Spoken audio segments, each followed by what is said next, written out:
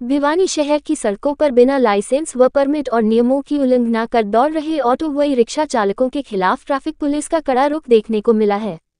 Bhiwani traffic police द्वारा एक विशेष अभियान चलाकर नियमों की उल्लंघना करने वाले 50 से अधिक ऑटो और ई रिक्शा चालकों के चलान काटे गए तथा उनको नियमों के बारे में बताते हुए उनको पूरा करने की बात भी ट्रैफ़िक पुलिस द्वारा चालकों से कही गई।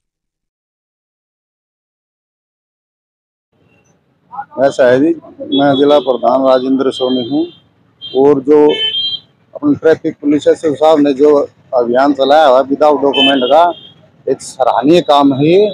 और ऐसा है ये ऑटो रिक्शा होते ई रिक्शे का। इसमें सवारी कोई बैग भूल जाती है या कोई फ़ोन भूल जाती है तो बड़ी भारी परेशानी हो जाती है। जैसे विदाउट नंबर की रिक्शा से चले ऑटो चलिए उसको हम सीसीटीवी के माध्यम से ही उसको पकड़ सकते हैं, नहीं तो नहीं। वो इनका तो इनको यातायात के नियमों का पता नहीं। हम कहे, भाई, आपको लेफ़्ट साइड में सवारियाँ मिलेगी, लेकिन राइट साइड में चलना है। यातायात नियमों का पालन नहीं करते। प्रशासन को भी बेवकूफ़ समझ रहे हम ऐसा है, अगर ये सही तरीके से नहीं चलेंगे तो चलान जायज़ है, ट्रैफ़िक पुलिस गलत नहीं करी। ऐसे तो साहब बिल्कुल सही कर रहे हैं। गलती करने वाले को सजा मिलनी चाहिए। देखिए, आज हमने स्पेशल अभियान चलाया है ई रिक्शा ऑटो के लिए।